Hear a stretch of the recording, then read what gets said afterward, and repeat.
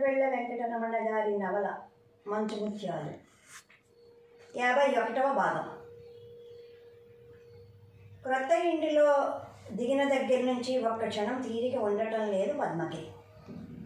క్రొత్త ఇంటిలో దిగిన దగ్గర నుంచి ఒక్క క్షణం తీరిక ఉండటం లేదు పద్మకి. అవి ఇవి సర్దటంలో చాలా రోజులు గడిచిపోయాయి. కానీ ఆమె మనసులో ఆ రోజు కీర్తికి గదిలో ఫోటో చూసిన దగ్గర నుంచి ఆ విషయం గురించి కీర్తిని అడుగుదామా వద్దా అని అనుకుంటోంది. కానీ ఎక్కడా తీరిక టైము చిక్కటం లేదు. కీర్తికి ఇప్పుడు ఇంటిలోనే ఉంది. అడిగి తెలుసుకుంటే మంచిది. ఏదైనా కీడించి మేలించమన్నారు కదా. మనసులో ఉన్న అనుమానాన్ని అడిగి తెలుసుకుంటే సగం భారం తగ్గుతుంది. అని ఓ నిర్ణయానికి వచ్చింది పద్మ. కీర్తిక తన గదిలో మంచంపై పడుకుని ఏదో పుస్తకం చదువుకుంటోంది. ఇంతలో తలుపు మీద వేళ్ళతో టక్ టక్ టక్ మని కొట్టి may I come in please అంటూ పద్మ గుమ్మం వద్ద నిలబడింది. ఎవరా అని చదువుతున్న పుస్తకంలోంచి తన కళ్ళను ఓరగా గుమ్మం వైపు చూసింది.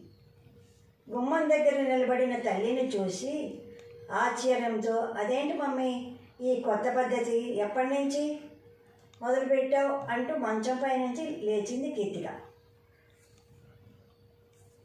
పద్మ నవ్వుతూ లోపలికి వస్తూ ఆ ఏం లేదు.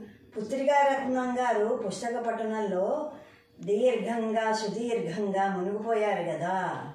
అందుకని బహుశా డిస్టర్బ్ అయిందా? అంటూ చేతిలో ఉన్న కాఫీ కప్పులతో ఒకటి కీతికిచ్చి మరొకటి తను తీసుకుని త్రాగుతూ కూతురి ప- కూతురి పక్కనే కూర్చుంది పద్మ. ఏమిటి విశేషం మమ్మీ? ఈరోజు తీరుబడిగా ఉన్నావు? అడిగింది కీర్తిక విశేషం ఏమీ లేదు. ఈరోజు మన మనసు కొంచెం ప్రశాంతంగా ఉంది.